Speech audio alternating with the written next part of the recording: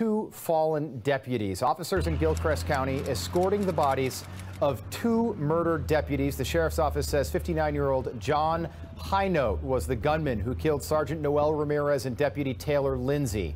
The two deputies were sitting at the Ace China restaurant having lunch when they were shot suddenly around 3 o'clock yesterday afternoon without any warning. Both were pronounced dead at the scene. It happened in Trenton, which is about 30 miles west of Gainesville. The sheriff says the entire department is heartbroken. The suspect was found dead outside of that restaurant. Police say he did shoot himself.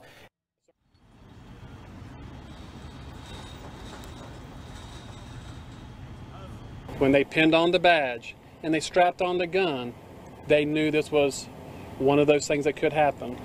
The world's full of cowards and the world's full of heroes. We need to highlight those heroes and what they gave. This is a community in mourning. I spoke with an officer who could hardly speak to me without crying. He said, I personally knew these men. I broke bread with them. This is extremely tough for us, and we have never dealt with this before. This shooting happened here at this restaurant in downtown Trenton. We're told that that gunman shot through the glass, but it didn't shatter the glass. As you can see, there are two bullet holes left. And just moments ago, we watched as an honor guard and a procession of officers lined the streets here in downtown Trenton as the body of these men who they consider to be brothers, Sergeant Noel Ramirez and Deputy Taylor Lindsey, were escorted away. Here at this restaurant, we've seen officers casing the place all day long, all night long. We're told they could, this investigation still could be several hours. It's a tight-knit community, only about 30 deputies, and now they've lost two of their own. I'm told the body of these deputies will be escorted to Gainesville, and it is still too early to give any information about funeral arrangements. Again, all we know is that the bodies will be escorted to Gainesville, where they will stay at the medical examiner's office, because again, this is a murder investigation.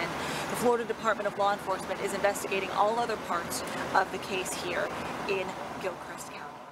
The best of the best, men of integrity and loyalty. That's how the Gilchrist County Sheriff's Office is describing the deputies killed. Sergeant Noel Ramirez was 30 years old and a seven-year veteran. He leaves behind a wife and two young children. Now, he had also served in the Williston Police Department and the Levy County Sheriff's Office before joining Gilchrist in 2016. Deputy Taylor Lindsey was 25 and a three-year veteran. He was part of a bench press team that competed in the First Responders Olympics. Both men taken too soon, shot while they were doing nothing but having lunch, Rob. John Hightower's record was clean in Gilchrist County, but we did find a Pinellas County connection. Highnote lived in St. Pete in Clearwater in the early 80s and 1990s. He was charged with a felony in Pinellas County. In 1978, he was charged with carrying a concealed weapon. Those charges were dropped. He also had nearly a dozen traffic charges from speeding and careless driving.